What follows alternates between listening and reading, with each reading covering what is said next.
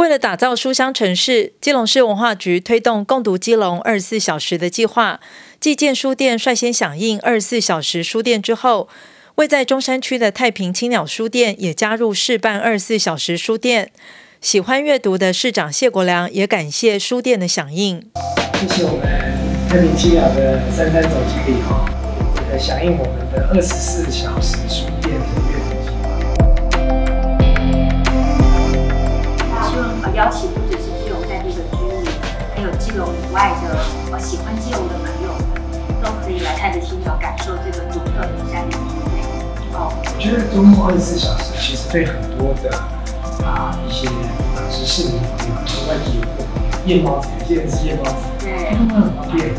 对，因为其实像呃，我想大家都知道，很多作家都是深夜的时候灵感什么的会特别特别有。那我也是，我晚上有很多事在灵感。对，所以常常就是会到可能凌晨两三点哦，他们就很希望可以找个地方，可以有很多人可以陪伴。太好，非常期待未来的太平青鸟会。开的越来越晚，然后内容会越来越多，太棒了！谢谢。太平青鸟书店将在三月二十九号试办第一场二十四小时口碑场，后续依执行状况陆续调整试办时间。市府也将持续结合店家来推动，让基隆各角落充满书香气息。记者黄日升、陈淑萍，基隆报道。